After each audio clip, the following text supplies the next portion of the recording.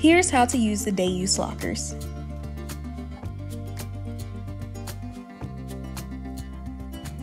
After placing your item in the locker, ensure the bottom dial is in the unlock position.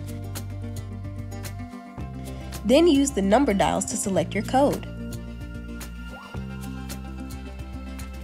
Once selected, turn the bottom dial to the lock position and scramble the numbers to secure the lock.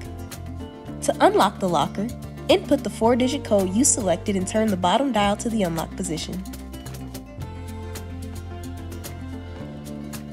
To set a combination, 1. With the bottom dial in the unlock position, select your four-digit code. 2. Close the locker. 3. Turn the dial to locked position. 4. Scramble the numbers to secure lock.